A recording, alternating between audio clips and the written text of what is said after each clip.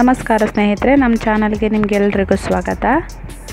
ಇಂದಿನ ವಿಡಿಯೋದಲ್ಲಿ ಒಂದು ಒಳ್ಳೆಯ ಹೇರ್ ಸಿರಮನ್ನು ನಾನು ನಿಮಗೆ ತಿಳಿಸ್ಕೊಡ್ತಾ ಇದ್ದೇನೆ. ನೀವು ನಮ್ಮ ಚಾನಲ್ಗೆ ಹೊಸಬರಾಗಿದ್ದರೆ ಚಾನಲನ್ನು ಸಬ್ಸ್ಕ್ರೈಬ್ ಮಾಡಿ, ಲೈಕ್ ಮಾಡಿ, ಹಾಗೆ ಶೇರ್ ಮಾಡಿ. ನಾನು ಒಂದು ಹಾಲುವನ್ನು ತಗೊಂಡಿದ್ದೇನೆ. ಇದರದ್ದು ಸಿಪ್ಪೆಯನ್ನು ತೆಗೆದು ತೊಳೆದು ಇಟ್ಕೊಳ್ಳಿ. ಈಗ ಇದನ್ನು ತುರ್ಕೊಳ್ಳೋಣ. ನೀವು ಗ್ರೇಟರ್ನ ಸಹಾಯದಿಂದ ಗ್ರೇಟ್ ಮಾಡ್ಕೋಬಹುದು. ಆಲುವಲ್ಲಿ ವಿಟಮಿನ್ ಸಿ ಹಾಗೆ ವಿಟಮಿನ್ ಬಿ ಹೇರಳವಾಗಿರೋದ್ರಿಂದ ಇದು ನಮ್ಮ ತಲೆ ಕೂದಲಿಗೆ ತುಂಬಾ ಉಪಯೋಗಕಾರಿ ಅಂತಲೇ ಹೇಳ್ಬೋದು ಸ್ನೇಹಿತರೆ. ಇದರ ರಸವನ್ನು ನಾವು ನಮ್ಮ ತಲೆ ಕೂದಲಿಗೆ ಬಳಸೋದ್ರಿಂದ ನಮ್ಮ ತಲೆ ಕೂದಲು ಬಹು ಬೇಗನೆ ಬೆಳೆಯುತ್ತೆ, ಹಾಗೆ ಹೇರ್ ಫಾಲ್ಸ ಕಂಟ್ರೋಲ್ ಆಗುತ್ತೆ. ಸುಲಭವಾಗಿ ಸಿಗುವಂತಹ, ಮನೆಯಲ್ಲಿ ಸಿಗುವಂತಹ ನ್ಯಾಚುರಲ್ ಇಂಗ್ರೀಡಿಯೆಂಟ್ಸ್ಗಳನ್ನು ಬಳಸಿಕೊಂಡು ನಾವು ಈ ರೀತಿ ನಮ್ಮ ತಲೆ ಕೂದಲನ್ನು ಕೆಮಿಕಲ್ಸ್ಗಳಿಲ್ಲದೆ ಬೇಗನೆ ಬೆಳೆಸ್ಬೋದು ಸ್ನೇಹಿತರೆ. ನೀವು ಏನು ತುರ್ಕೊಂಡಿದ್ದೀರಿ ಇಲ್ಲಿ ಅದಕ್ಕೆ ನೀರನ್ನು ಆ್ಯಡ್ ಮಾಡ್ಕೊಳ್ಬೇಡಿ. ಅದರದ್ದೇ ರಸ ಸಾಕಾಗತ್ತೆ ನಮಗೆ. ಈಗ ಒಂದು ಸ್ಟ್ರೈನರ್ನ ಸಹಾಯದಿಂದ ಇದನ್ನು ಸ್ಟ್ರೈನ್ ಮಾಡ್ಕೊಳ್ಬೇಕು, ಅಥವಾ ಬಟ್ಟೆಯ ಸಹಾಯದಿಂದಲೂ ನೀವು ಇದನ್ನು ಗಾಳಿಸ್ಕೋಬಹುದು.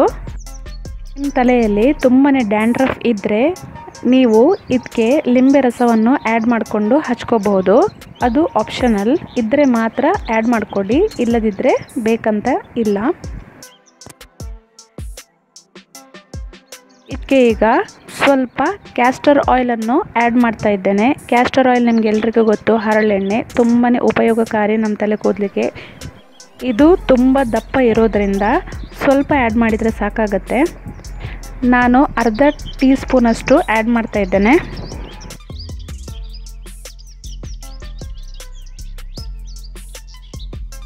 ಈಗ ಒಂದು ವಿಟಮಿನ್ ಇ ಕ್ಯಾಪ್ಸೂಲನ್ನು ತಗೊಂಡಿದ್ದೇನೆ. ಇದನ್ನು ಇದಕ್ಕೆ ಆ್ಯಡ್ ಮಾಡ್ಕೊಳ್ಳೋಣ.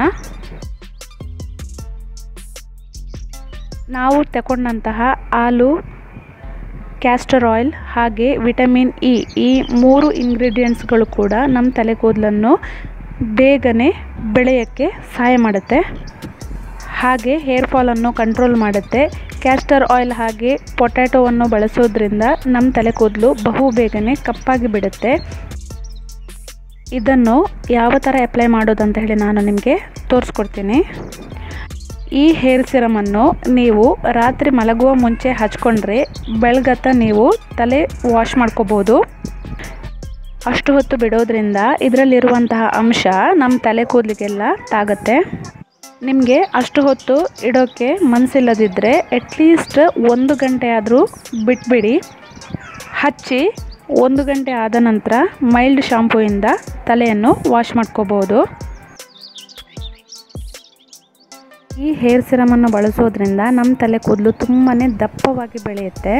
ಯಾಕಂತ ಹೇಳಿದರೆ ಇದು ಹೇರ್ ಫಾಲನ್ನು ಕಂಟ್ರೋಲ್ ಮಾಡುತ್ತೆ, ಹಾಗೆ ಹೇರ್ ಗ್ರೋತನ್ನು ಜಾಸ್ತಿ ಮಾಡುತ್ತೆ. ಇದರಿಂದ ನಮ್ಮ ತಲೆ ಕೂದಲು ದಪ್ಪ ಆಗೋಕ್ಕೆ ಶುರು ಆಗುತ್ತೆ